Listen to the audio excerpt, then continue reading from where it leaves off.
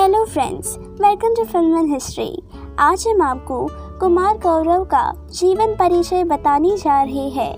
तो चलिए शुरुआत करते हैं। कुमार गौरव का वास्तविक नाम मनोज तुली था। उनका उपनाम बंटी था। उनकी लोकप्रियता फ़िल्म लव स्टोरी 1981 उनकी जन्म तारीख 11 जुलाई 1960 लखनऊ, उत्तर प्रदेश, भारत में हुई थी। उनकी उम्र छियासठ वर्ष है। उनका school Bishop Cotton school, Shimla. उनकी शैक्षणिक योग्यता दसवीं पास। उनकी वैवाहिक स्थिति विवाहित। उनकी पत्नी का नाम नम्रता दत्त। उनकी दो बेटियाँ हैं साची और सिया। उनके पिता का नाम राजेंद्र कुमार, जो एक अभिनेता थे। माता का नाम शुक्ला कुमार। उनकी दो बहनें हैं डिम्पल और काजल। उनकी कुल संपत्ति अड़सठ करोड़ है। कुमार गौरव का जन्म लखनऊ में लोकप्रिय बॉलीवुड अभिनेता राजेंद्र कुमार और शुक्ला कुमार के घर हुआ था। उन्हें बचपन से ही अभिनय और यात्रा करने का जुनून रहा है।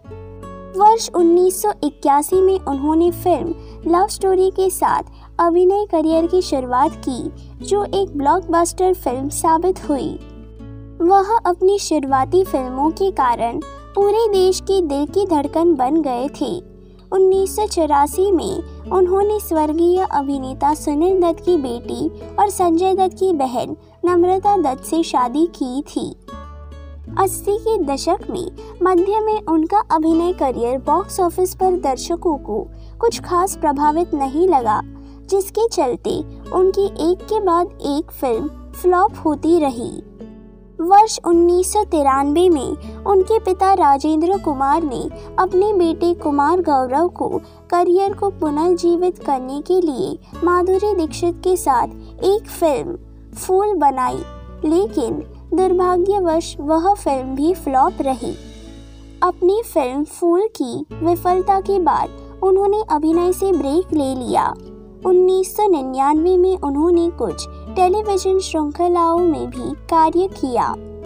उसी वर्ष उनके पिता राजेंद्र कुमार का कैंसर की बीमारी से निधन हो गया।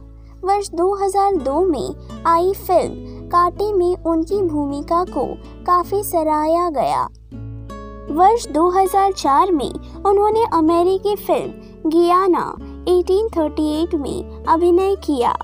वर्तमान में वह एक पर्यटन और यात्रा कंपनी को चला रहे हैं। अगर फ़िल्म एंड हिस्ट्री की ये जानकारी आपको पसंद आए तब प्लीज़ इस चैनल को लाइक शेयर और सब्सक्राइब करना ना भूलें। धन्यवाद।